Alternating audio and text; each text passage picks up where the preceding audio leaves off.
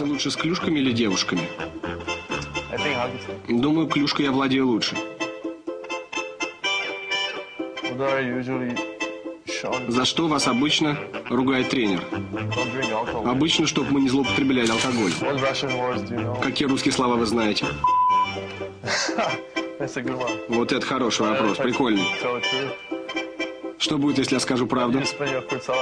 На что я потратил свою первую зарплату? Стрип-клуб. У вас есть татуировки? Если есть, можете показать? A. Это символ, ну, что-то вроде логотипа моего любимого диджея Тиеста.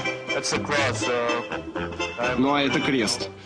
Как вы понимаете, я верующий, и мне нравится ощущать крест э, на своей руке. Он всегда со мной на плече. Кто такой дед Пихто? Кто, кто это может быть? Дед Пихто? Ну, не знаю. Наверное, какой-то старый человек. Uh? Похоже, это какой-то известный человек в России. Нет? Was Gashek a Ярослав Гашек играл в хоккей? player? Ярослав Гашек? Это чешский писатель, вы говорите? Я даже не знал. Я словак. Вот это, наверное, дед Пихто. Кто это? It looks Ну, может быть, медведь?